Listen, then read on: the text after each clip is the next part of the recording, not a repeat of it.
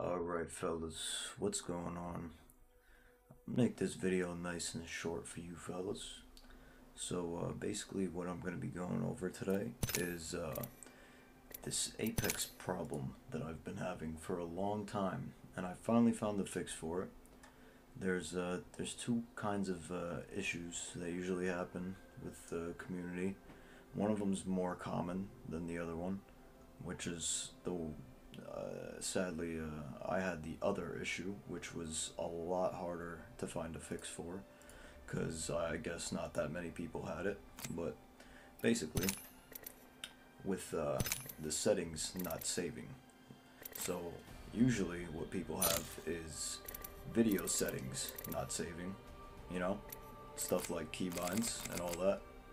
So uh, uh, they'll go to the config files in their in their game and their users, and uh, they'll just fix it. I'll show you how to do that either way. But my issue was the gameplay settings. I had about three to four in the gameplay settings that uh, would switch back to default every time I restarted my game. And I had a couple of audio settings which would also reset at startup. And I had a uh, a prompt to where every time I started my game, it would play that beginning cinematic over and over and over again. It gets really tedious to uh, keep resetting those, so it's determined to find a fix.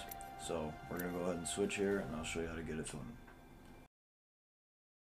So once you're on your desktop here, what you want to do is you want to navigate to your file explorer, go to your C drive, users, here, just uh, just for reference, C drive, users, go to your name, and then you want to go down to saved games. Respawn, Apex, profile, and then here is the beautiful file that we are looking for. This is for the issue that some small percentage of the people might be having, right? So what you want to open up is the profile tab here and this will contain all of the game and audio settings that you have here. So what you want to do is similar to the other issue that people might have with their video settings. You want to go to, you can just close it out.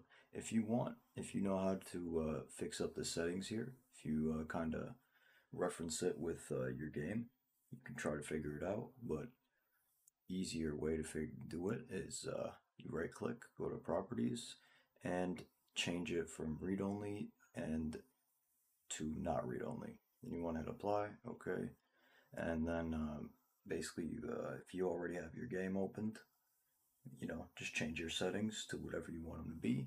Close your game, restart, test it out. It should work.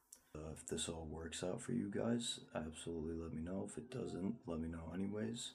Um, I'm going to be linking the thread in the description where I did manage to find the fix and I will also be pasting the response which helped me find this specific fix.